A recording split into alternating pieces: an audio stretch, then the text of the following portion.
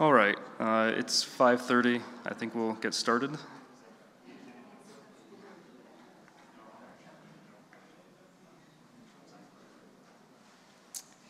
Okay, uh, I'm Jeff Spies. I'm the Chief Technology Officer and co-founder of the Center for Open Science. I'm also the co-lead of SHARE and a visiting assistant professor at the University of Virginia's Department of Engineering and Society.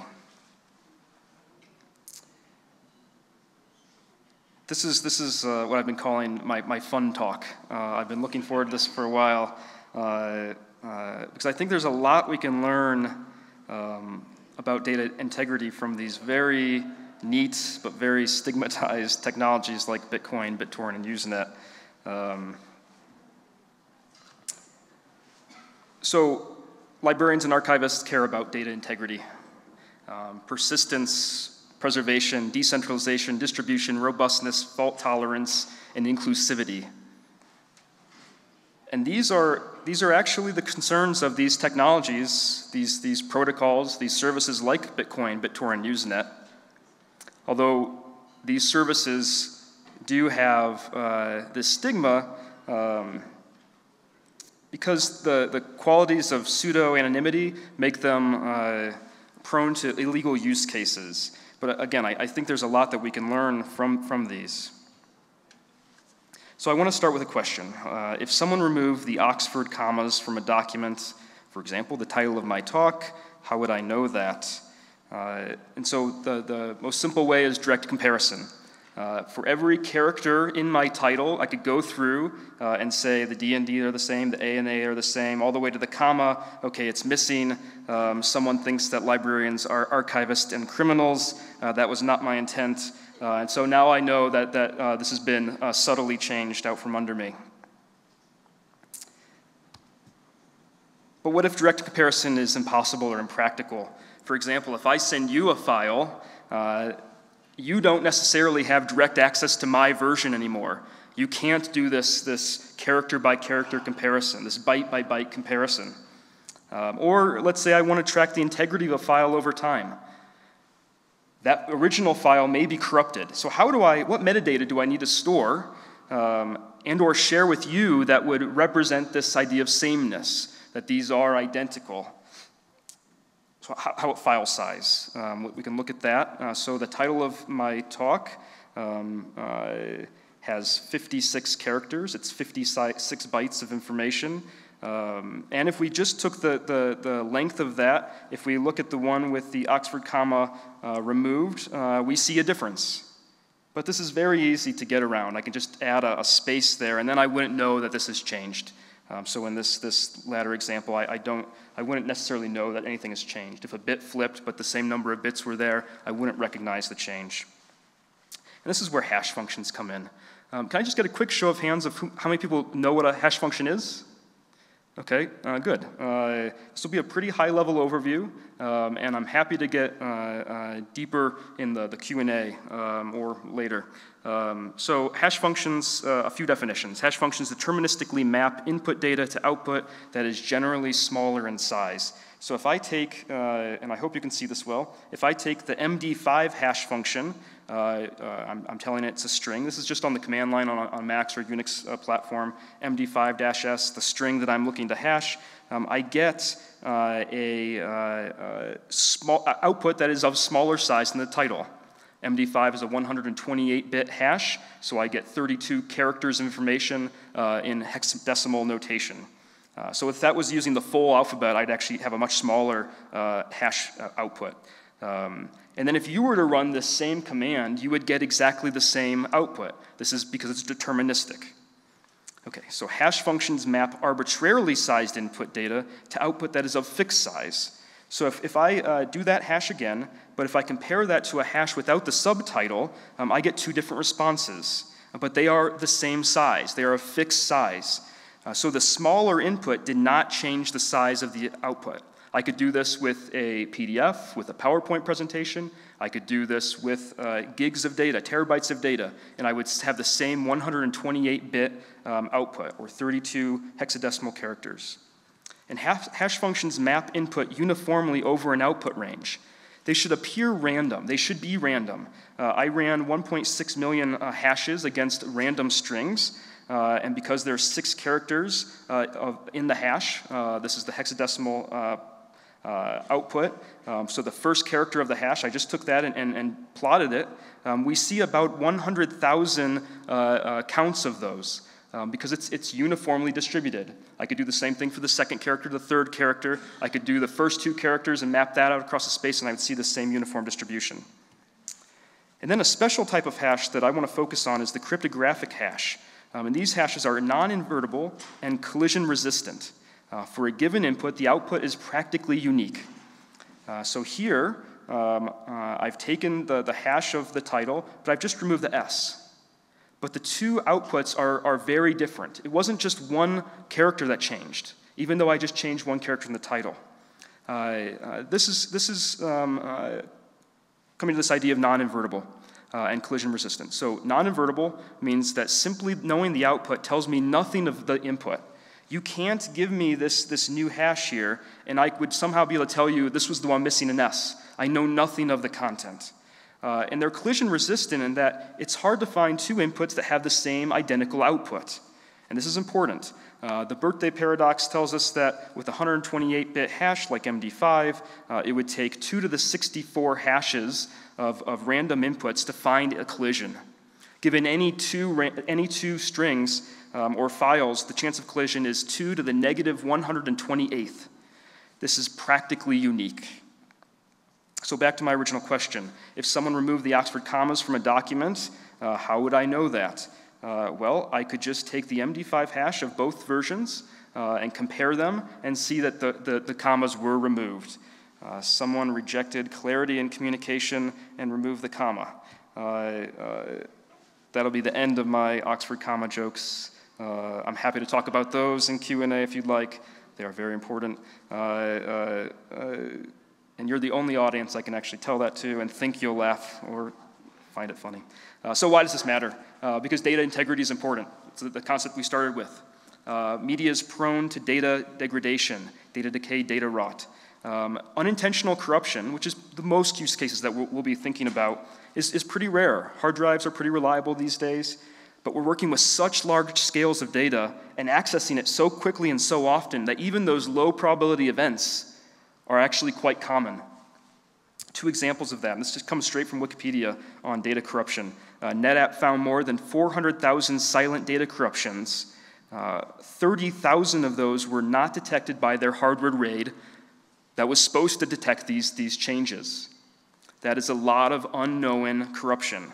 CERN found 128 megabytes of data permanently corrupted across 97 petabytes. So, yes, that's a big amount of data, but 128 megabytes of permanent corruption is a lot of, of, of bad files. Um, that is a lot of bad data. Or data that we no longer really can trust. Okay, so uh, this, is, this is again where these cryptographic hash functions come in.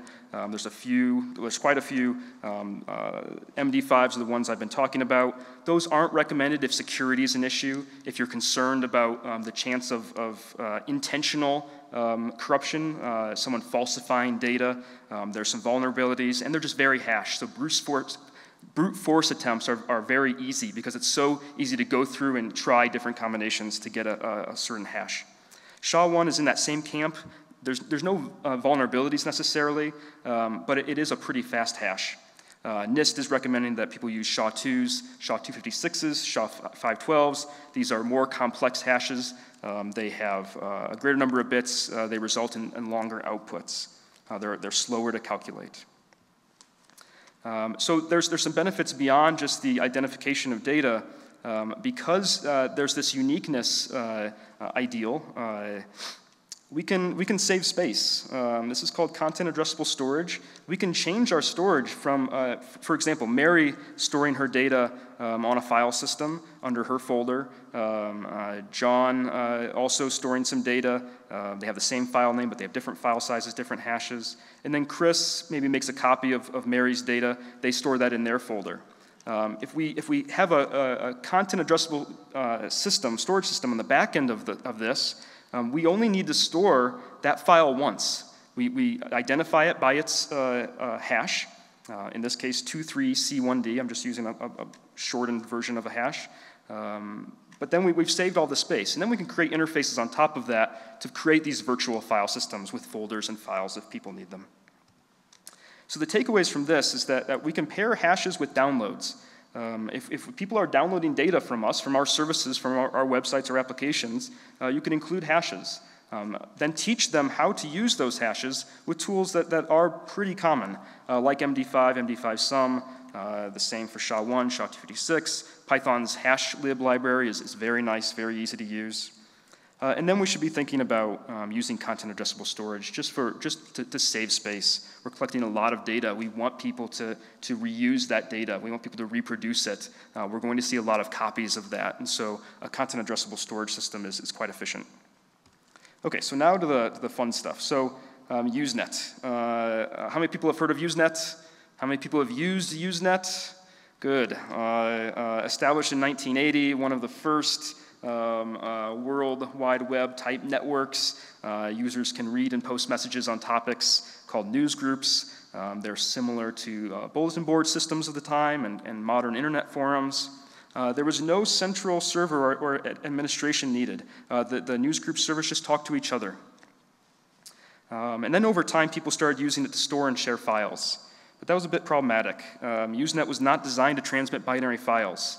Uh, more than that, there were message size limits. Uh, most clients were, were similar or, or, the same as email clients, and so you had the same limitations with how, how big of a file that you could, you could uh, uh, post to Usenet.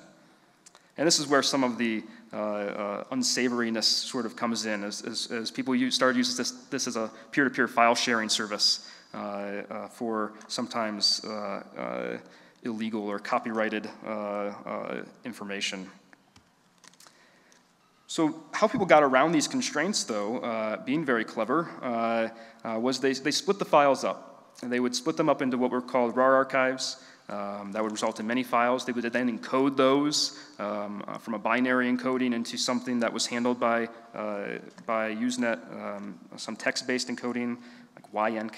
Um, but what would happen is you'd go to download these files, and sometimes there'd be hundreds of these split files, and one or two would be missing. Uh, or, or you'd find out that a file was corrupted. There's synchronization problems, things were taken down, uh, copyright notices would be posted, and so they pull partial uh, files from, from the, the systems. Um, and so what people did was uh, uh used a, a, common technique called parity computation. And I want to make sure that's differentiated, differentiated from parity computation. Uh, thank you for laughing. Uh, uh, and, and uh, the best case of this that we might know is, is redundant arrays of independent disks, RAID. Uh, the idea being that you could lose some data, you could lose a drive, and you'd be able to recreate that.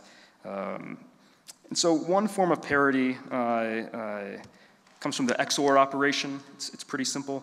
You XOR 0 and a 1, you get a 1, 1 and 0, 1. Everything else you get a zero. And so how this works is that you, you might have three drives of data, or data on three drives.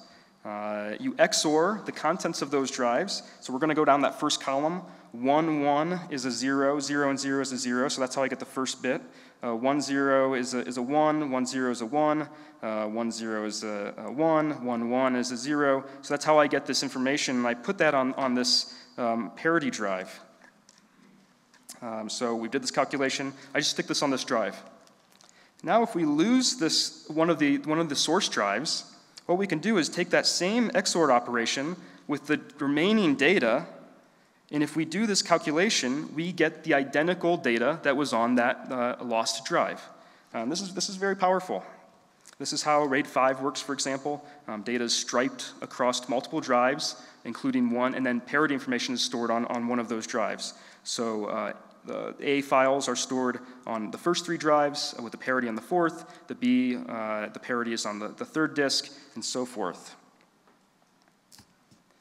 And so we use this, this type of uh, paradigm when it comes to uh, uh, uh, filling in these gaps. And so one of the, uh, I'd, I'd, say the, the, the most authoritative implementations of this par2 command line uh, we're going to create par archives. And so it's very simple. Uh, you run the, the command par2 create. We are going to say a redundancy level. Um, we set it with the, the dash r, uh, dash r uh, flag. Um, we'll say 10. This gives us a 10% redundancy, so you can have 10% fail. Um, we uh, tell it the name of the par2 file to generate, and we take that um, Ubuntu ISO uh, that we're going to distribute. Um, and you get uh, a bunch of other files.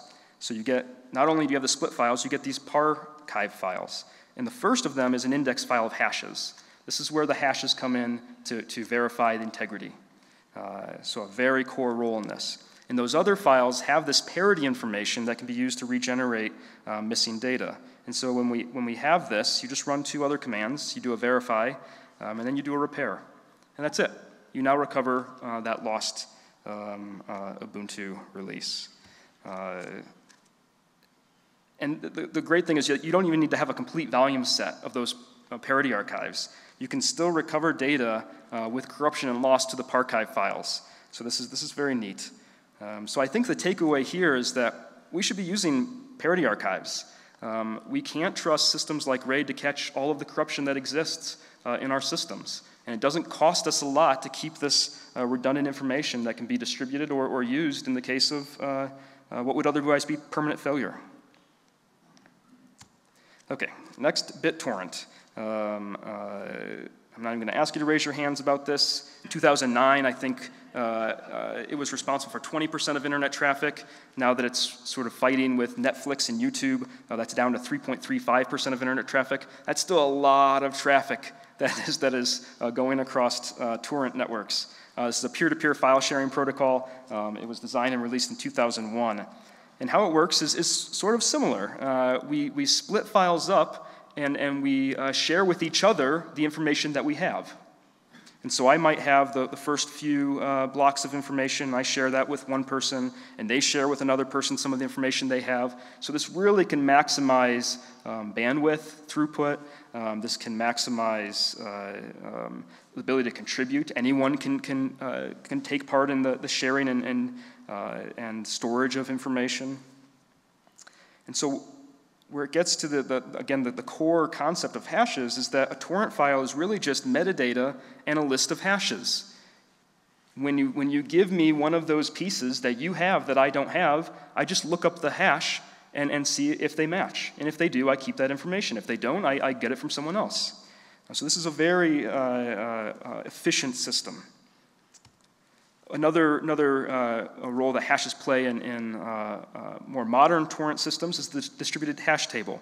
Um, this is a, a, data structure that's quite widely used, um, but it, it, makes for the ability to uh, look up things in a decentralized and distributed way. So for, for torrents, for example, um, I can look up a torrent by its hash, by, by its identifier basically, and ask a bunch of peers if they have that information, and then get their IP addresses back um, uh, if they do. Uh, and so uh, we, we distribute this lookup process. And this adds a, a high degree of fault tolerance and, and a, a, large degree of scalability. Not one server is responsible for, for serving out all this information. Takeaways there, uh, we should use the torrent protocol for data storage. Um, we should use distributed hash tables to provide lookup for these content addressable storage systems and peer discovery networks. Okay, Bitcoin, uh, uh, cryptocurrency electronic payment system introduced in 2008. Um, it's based on a blockchain, which is a public, distributed, immutable ledger. It can also be thought of as a database, a key value database. Um, Bitcoins are mined by people that create and verify hashes. The hash plays a central role throughout uh, the Bitcoin um, protocol. As of today, one Bitcoin uh, was uh, over $1,100 US dollars. Uh, Bitcoin, again, it's very benign technology. It's being used for some illegal practices because of the pseudo anonymity. Um, uh, uh, we, we, saw uh, it being used for the sale and purchasing of, of, of drugs and whatnot on Silk Road um, and some other uh, sometimes pretty scary services like assassination uh, markets. But you can look that up on your own. but there's some really interesting stuff behind it. And so one of them is the, was the blockchain. Uh, the blockchain here uh, is a chain. Uh, and so block 12, uh, the header of block 12 contains the previous hash, the previous block's hash, a timestamp, um, another hash of the actual transactions, the who sold what to whom, uh, when they sold it, how much, and then a nonce, some randomness that you'll see in a moment. and so that previous hash of block 12 points to the hash of block 11's header, which has block 10's hash built into it. And so we create this chain such that uh, if you change anything, um, the, the body of the transactions, the header information, the hashes, the whole uh, uh, chain falls apart. And we know that it, it, won't verify, and then people won't distribute and use it. Um, the body of block 11 also includes those transactions um, by uh, uh, by a hash. Uh, this is actually a neat data structure called a Merkle tree. I'm not going to get into that. Um, but uh, what, what the miners are doing, they're hashing these headers, which contain all of this rich information to verify the data. And so mining is actually hashing. It's SHA-256 hashing. Mining requires proof of work. Um, this means that the, the work was difficult and that it's easily verifiable. And so if uh, we don't want mining to be too easy uh, because there'd be too much Bitcoin and, and, it would lose all its value. And so they've, they've set these difficulty rates. Um, because hashing has a known difficulty and it's easily verified, it, make, it makes for a good computation for this purpose. So the miner's task, their goal, is to generate a hash of tr that, that transaction metadata, those headers, by adding some random data at the end via that nonce and sometimes changing the timestamp just a little bit such that the resulting hash starts with, for example, 18 zeros. We're trying to meet some difficulty level. So I can't just generate a hash with 18 zeros. I have to do a lot of work to try to find one. And so there's, there's um, uh, a lot of computers uh, built specifically for hashing. Um, that's the only really viable way to make money right now as a miner. Uh, but what they basically do is take the SHA-256 of that metadata, of that header, and then add a 1. And then they add a 2 and a 3. And they keep doing that until they found for example, 18 leading zeros. Um, last night, uh, miners generated a hash like this. Um, you can see those zeros. They, they, out of all the things they tried, they found one that met this difficulty criteria. Uh, they rewarded with 12.5 Bitcoin. That was uh, more than $14,000 to find that hash. This is, this is the work they're doing uh, to, to add these transactions to the, to the blockchain.